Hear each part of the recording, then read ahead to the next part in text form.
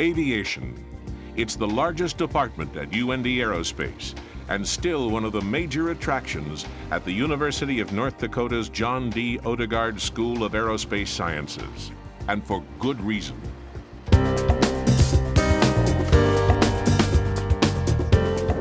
Guided by a full complement of certified flight instructors, a nationally recognized crew of maintenance personnel, and a fleet numbering in the hundreds of aircraft, the school is not only one of the largest and most advanced aviation training facilities in the world, it's one of the best.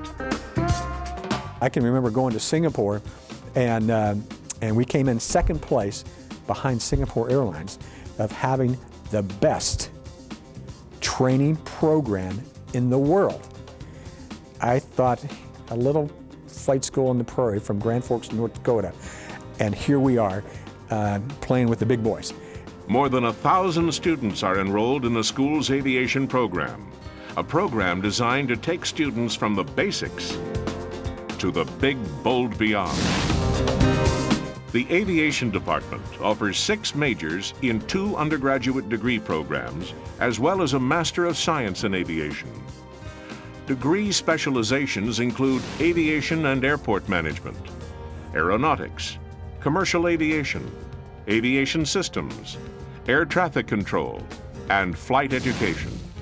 UND Aerospace is not only a Part 141 approved flight school, it is also accredited by the Council on Aviation Accreditation. Based on a rigorous ground-up approach to flight education, the Aviation Department provides extensive classroom, lab, and simulator training to complement the practical airborne aspects of the program. And we started our, our ab initio program back in the, in the mid-80s working with Northwest Airlines. Ab initio is Latin from the beginning. So the result of that was we said, we got this great program. We started marketing it overseas. China Airlines was our first customer, EVA was our second, and actually Saudi Arabia, Aramco, was our third customer. Well, that's what we did then. We took that ab initio program, what we called Spectrum, and, and we blended that into our undergraduate program. So now every young man or woman that starts in the four-year program goes through what was our ab initio program. A well-balanced and growing fleet of flight simulators, including an FAA Level 6 certified Canadair Regional Jet Simulator and a state-of-the-art helicopter simulator, offer students and working professionals alike the technology to hone their skills in a completely realistic environment.